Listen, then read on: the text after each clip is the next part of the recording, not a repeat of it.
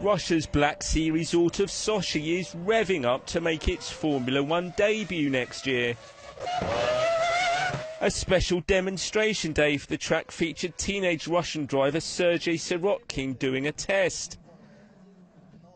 It also saw Russian Formula One driver Vitaly Petrov defend the track over concerns it was too narrow.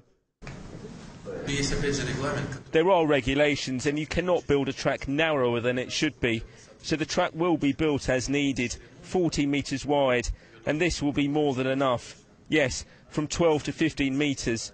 So I have no doubt that it will be built according to the rules which the FIA demands.